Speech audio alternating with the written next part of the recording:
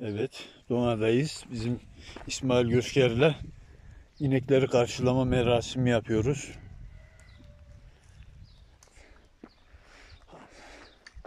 Sen e, e, nereden bulacaksın diyorsun? Hangisi sizin olduğunu sen biliyorsundur ama. Diyorum.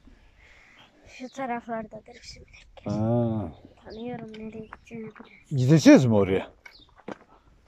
Şurada dururuz zaten yol var orada yine. Pamukçala da çıkın gelin. He? Pamukçala da çıkın. Tamam. Arabayla gidin. Tamam tabii canım çekeriz.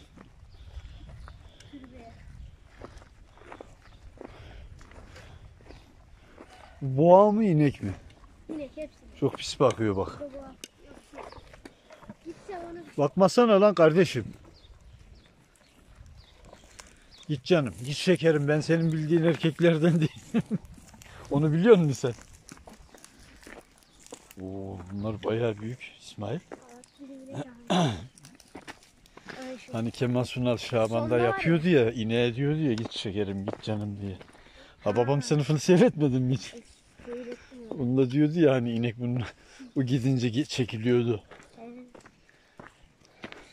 Hemen çalıların arkasında hani biraz turuncu falan beyaz var ya. He. O benim inek.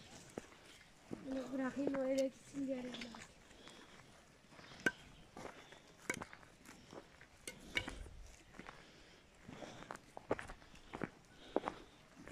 Sen İsmail dedeni gördün mü? O vefat etmiş bir hafta sonra ben de. Ha sen onu görmedin hiç hatırlamıyorum. Ablan az çok biliyordur. Ama o çok küçüktür hatırlamıyordur. Değil mi? hatırlamıyorum. Zaten. Bir Ramazan abin o zaman içiniz daha çok. Ramazan abim zaten vefat ederken yanındaymış. Ha.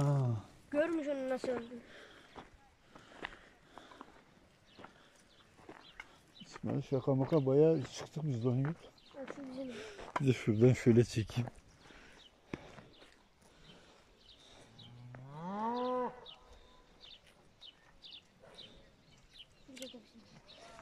He? Şurada da bizim inek var. Siyah göz. Siyah gözlü. Hangisi? İlk başta. En ilk başta Beyazsız, bizim. beyazlı olan mı? Beyaz siyah gibi. Ha, siyah. Siyah. Si- Biraz siyah benziyor biraz. Yarısı beyaz yarısı siyah benzeyen biri. Ha. Selamünaleyküm. Kolay gelsin.